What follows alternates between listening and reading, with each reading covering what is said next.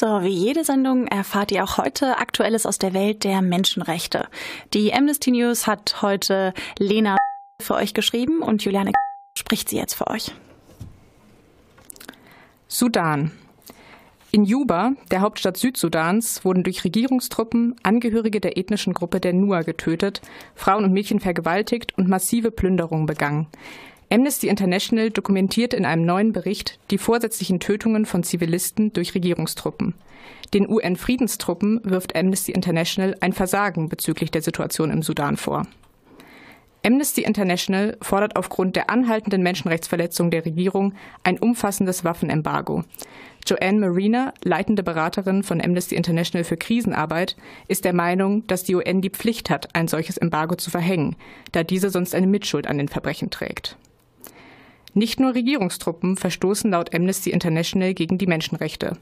Auch op oppositionelle Gruppierungen gefährden hilflose Zivilisten. Die Oppositionsgruppe Sudan People's Liberation Army in Opposition drang beispielsweise im Juli 2016 in eine von der UN eingerichtete Schutzzone für Zivilisten ein. In jedem Fall müsse man die Verantwortlichen der Gewalttaten im Sudan zur Rechenschaft ziehen, so Marina.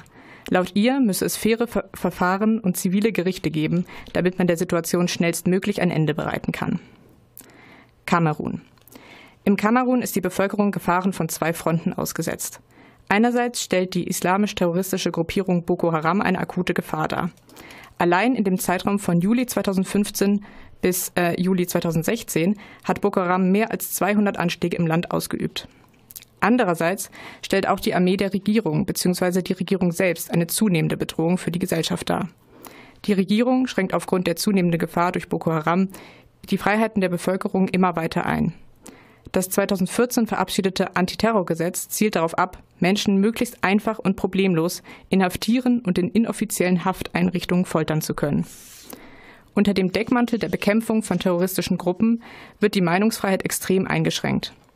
Die Campaignerin Balkissa Idesido aus der senegalesischen Hauptstadt Dakar fordert deshalb die deutschen Bürgerinnen und Bürger zu einem aktiven Einschreiten in die Außenpolitik Deutschlands auf.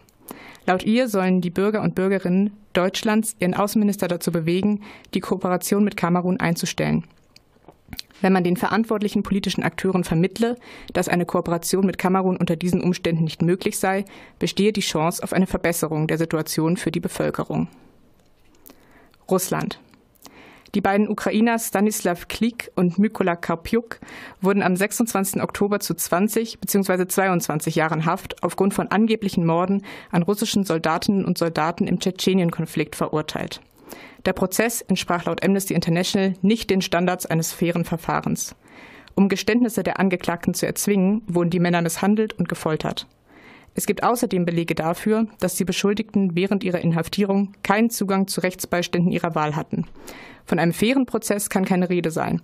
Und deshalb sucht Amnesty International aktuell noch nach Unterstützern des Appells an die Staatsanwaltschaft der Russischen Föderation. Weitere Informationen sowie das Schreiben an die Staatsanwaltschaft der Russischen Föderation findet ihr unter www.amnesty.de.